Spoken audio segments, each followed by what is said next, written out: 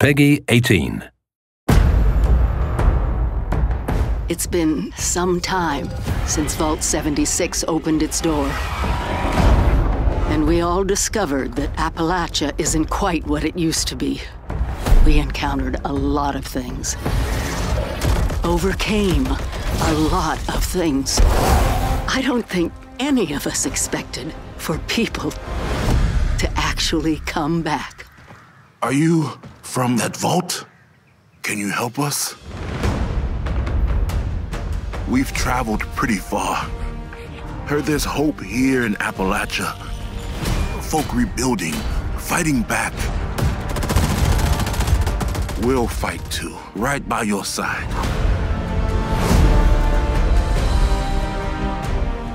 We've been everywhere and seen everything. And the one thing we've learned is this. You gotta claim the wasteland before it claims you. The question is, are you with us or them?